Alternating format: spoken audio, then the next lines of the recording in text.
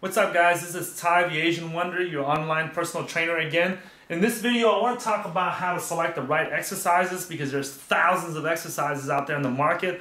I want to make sure that you understand the process of how to select a good exercise and this is something I struggled with for many years as a trainer. Matter of fact, you know, I'm not that bright of a trainer, so it took me actually several years, meaning like seven or eight years, before I finally whittled down the exercises that are good and it's worth doing, and the exercise is just complete garbage. And there's just some exercise out there that's just complete bullshit. And the people that come up with it should be put in prison because of that. Okay? So here we go, guys. This is I'm gonna give you three questions to ask yourself, and I'm gonna explain each question to you. And if you answer these three questions, you should be able to come up with the good exercises for your uh, exercise routine. And all the exercises that I list on my website, they all fit under these three criteria. And if they don't fit these criteria, I don't have it on my website because it's probably just a bullshit exercise. I don't like to waste my time or my client's time, and definitely not your time. So here we go. So here's the first question, guys. Does the exercise allow you to lift the most weight for that muscle? Very simple, very simple question, right? So here's an example. Let's say that I'm doing chest right here, and there's all kinds of chest exercises that I can do. I can do the uh, butterfly, dumbbell butterflies uh, on the flat bench. I can do the dumbbell um, uh, presses on the flat bench. I can do the barbell presses on the flat bench. I can do the cable crossovers for the chest exercises. There's a bunch of them. I mean, you can do push-ups, close grip, wide grip, all these different hand positions for your push-ups, right? But answer this question when you think about all these exercises. Does the exercise allow you to lift the most weight for that muscle? And if you compare something like the cable crossovers to a barbell bench press, then it's obvious that the barbell bench press allows you to lift more weight with that muscle group versus the cable uh, crossovers, right? And this is very important, guys, because the way the muscles grow, right, you have to activate all the fibers in your muscles, right? And they all have to fire at once, and they all have to lift the maximum amount of weight that it can possibly lift or very close to it, right? Meaning it has to do a lot of work. It has to work completely. Otherwise, there's no reason at all for the muscles to grow. For example, you have 10 muscle fibers in your chest. Now keep in mind there's millions of them in there, but I'm just saying that there's 10 muscle fibers in there and you only do an exercise that only activates two of these fibers and the other eight are just laying there, then what happens is that there's no reason for your muscles to grow. There's, there's no reason for you to get stronger. There's no reason for the chest muscles to grow any bigger, okay? Or to get any harder or to get more endurance or anything whatsoever. Why? Because there's still eight more that's to go, right? And until you exhaust all of these, fibers, right, and make them all work at one time, there's no reason for the muscle to grow any more muscle. And I've proven this over and over with hundreds of different people out in the field already. So this is not something new to me, right? But it's new to a lot of people in the gym and it's new to a lot of young trainers out there. And they don't think about this. Think about this and the best way I can describe this is this, all right? If you take a 12 gauge shotgun and you shoot a deer with it, right? And you go hunting and you shoot a deer with a 12 gauge shotgun, does, is it, if the deer is dead, right, is it necessary for you to take a little 22 pistol and go over there and shoot it a few more times to make sure that the deer is dead?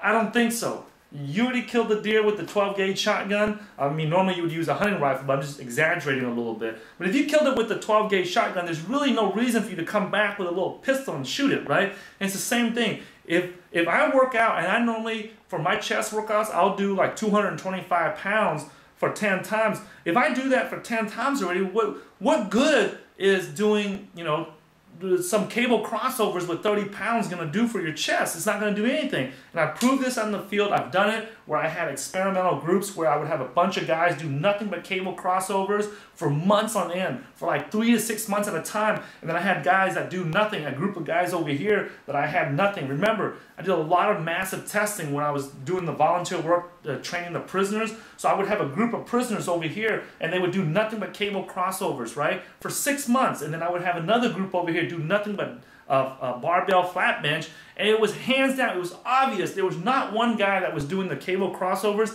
that developed more muscle in their chest or got stronger or had more endurance than the guys that did all the barbell. And that was all they did. Just the barbell uh, uh, bench and that was nothing else to it, right? So keep this in mind, guys, that ask yourself, and the answers are very simple, guys. You don't even have to go do the exercise. You can just look at it and tell which one is the right exercise. So, for example, right, if you, if I can do uh, barbell curls with 100 pounds total, right, and I do that, and I come over here and I do some uh, some uh, preacher curls for example, right? How much weight am I doing, right? Well, obviously it's an isolated exercise. I'm going to do less weight, right? But there, there's um, there's between the two, the one that's going to be better is the one that you can do the more weight with on the bicep, right? Now, that doesn't mean that the preacher curl is bad because it's still relatively close to what the actual barbell exercise is. So for example, if I do a barbell curls, bicep curls like this,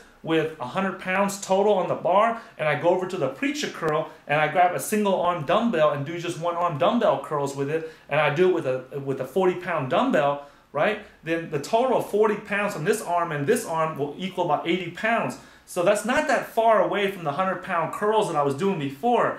The problem is whenever you start going to do exercises where the weight drops significantly then that tells you that something is wrong.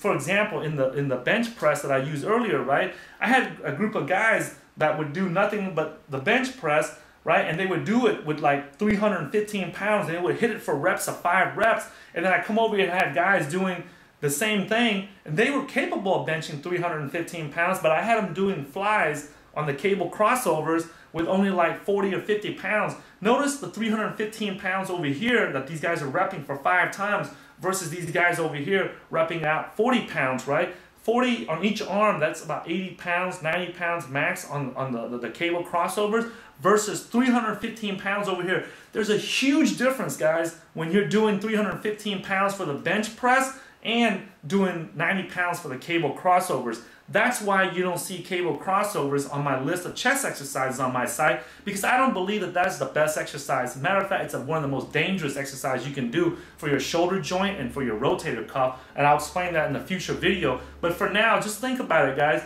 If it's not the best exercise where you lift the most weight for that muscle group, then it's probably not the best exercise that I would do or I would recommend to my clients to do. And I've trained lots of clients, guys, that are just stupid strong and stupid big, okay? So I don't think that I'm speaking out of, you know, nonsense. I'm actually speaking from actual experience here. The number two question I ask, guys, when I'm trying to select an exercise is I ask myself, is it safe? Is the exercise safe for me? Is it safe for my clients? Is it safe for an elementary school student? Is it safe for a middle school, high school, college, professional athlete? If the answer is no to any of those, then I normally don't do it. Why? Because if it's safe, if it's not safe for a high school kid right, a teenager to use that exercise, then it's probably not safe for anybody. Because uh, uh if it's not that safe to where the young body of a teenager cannot do it safely and correctly, then I don't want to use it on a professional athlete or anybody. Now, there's some people that say, well, you know, the NFL players or the Olympic athletes are using this exercise, right? Well, keep in mind, folks, that those people are the, are the best of the best of the best athletes we have in the world. And if your body is not built like those guys, right, just because you see them do those exercises doesn't mean it's safe for you. I would rather go the opposite end instead of looking at what the professionals do and seeing if it's safe for them and it's safe for the regular people like us. I would rather look at to see, hey, is this exercise is safe for everybody around me? Okay, if, if I choose an exercise, let's I you always use chest as an example, guys, but let's just say that I use a flat bench exercise. Is that safe for me? Is it safe for my clients? Is it safe for the athletes that I train? Would it be safe for my little brother and sister or even my 60 year old parents to do, right? And the answer to that is it's very safe. I mean, it's, it's really hard to go wrong on a barbell uh, bench press as long as you use the, the, the, right amount of weight. And even if the, the 45 pound bar is too heavy, right, I can always go down to a 20 pound bar or maybe even do some light push ups, right, and still safe. However, for example, like earlier when I said about like the cable crossovers, that's not safe, it's not easy to do, not everyone can do it correctly, and 95 to 98% of the people that I've seen at the gym do cable crossovers, they do completely wrong and it's not even correct. And that's the reason why they don't have big chests and a big bench press like they should be for the amount of time that they've been training. Okay? So ask yourself guys, the second question is, is this safe? Is it safe? And especially if you're a trainer, always ask yourself, is this safe? Would this be safe for a high school kid, a college kid, or just a 60, 70 year old person before you do it, right? And the chances are most of the exercises out there, folks, it's not safe for everybody to do. And if it's not safe for everybody to do, then the chances are I probably don't want to do it myself. And, and I've, I've hurt every joint in my human body, guys, multiple times. So I can very adamantly say when an exercise is safe for the human body or not. And like I said again, during my testing research years, right, I heard a lot of people, guys, to make sure that the exercise was safe and to tell, right? And there's just some exercises that are just so safe that I just rather do those. And if you look on the list of all the exercises I have on my website, you'll notice that all the exercises I have there, they're so safe that even if you do it wrong, you plan on being stupid and doing it wrong, it still doesn't hurt you.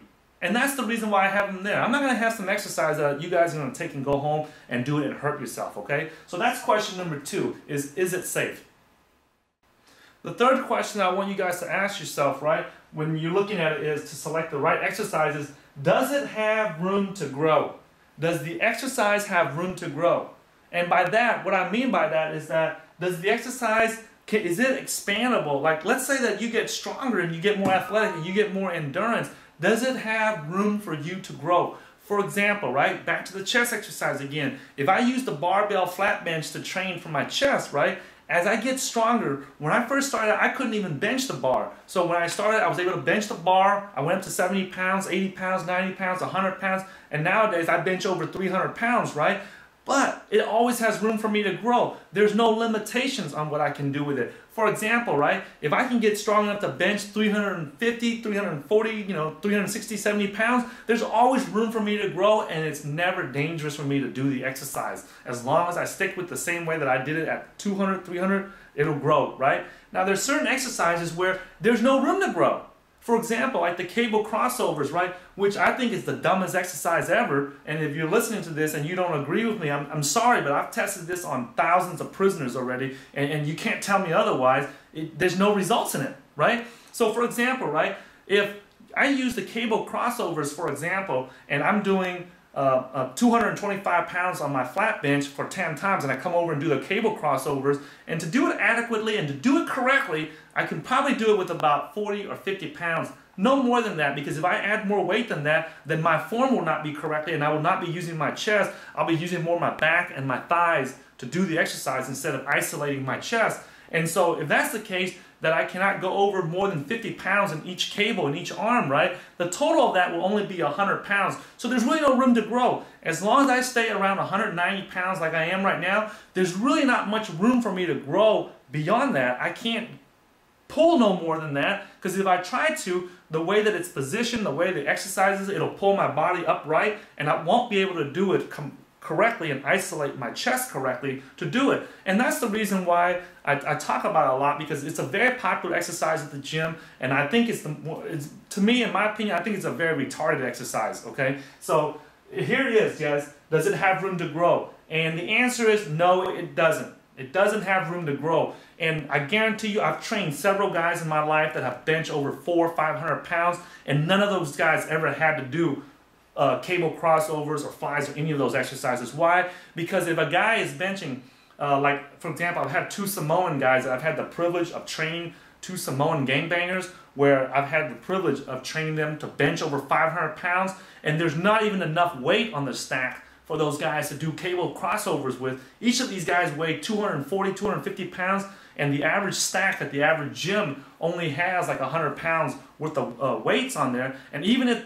these guys wanted to, they couldn't do it because there was not enough weight on there, right? So exercise like that, I would recommend that you guys stay away from because not only is it dangerous, it's one of the most dangerous exercises out there, but there's no room to grow. When you get stronger, there's no room to grow. Especially if you're playing like Division 1A college football, you're a linebacker, you're a lineman, or you're in the NFL, that exercise is not to cut it, guys, especially when you're benching like 350 pounds and up. None of those exercises is to work for you because they're not scalable. They won't grow. As you get stronger and more athletic and more endurance, those exercises won't grow with you. And you always want to select an exercise, right? That as you grow stronger and as you grow bigger and more powerful with your body, you want to have room to where it can grow with you, right? So just keep that in mind, guys. As uh, you guys go through these, ask yourself these three questions. Does the exercise allow you to lift the most weight that, that uh, for that muscle group? Is it safe? For you? And the easiest question is if you had your teenage brother or sister do it, would you let them do it? Is it safe enough for them to do? And if the answer is yes, then ask yourself, would I let my grandparents do it? Is it safe for them? And if the answer is yes, then go ahead and do it. But if it's no for any one of those, for the young people and for the older people, then I would not recommend you do it, right? The other thing is the last one is does it have enough room to grow? Make sure that your exercise that you select are scalable and that as you grow with uh, the, the exercise, that the exercise can grow with you so that you, you, you don't give up. You don't train for several years to learn how to do an exercise correctly and throw it out the window because it doesn't have room for you to grow with it no more and it won't allow you to, to, to use that exercise no more. Okay? So thanks for watching this video, guys. And uh, if you have any questions, please let me know. And if you're curious about all the exercise I have on my exercise list right here, all the exercise that I have on my website, guys, fit this criteria here. And this is the criteria that I use to select all the exercises on my website right here. You won't find any exercise on there that won't answer yes to, uh, to these three questions, okay? So again, thanks for watching this video, guys. And uh, if you like it, please leave a comment below. If you have any questions, leave a comment below. If you don't like it, you can leave a comment too. And also, if you find that one of your friends like this video, please share with them, put it on their Facebook, and um, I'll see you next time.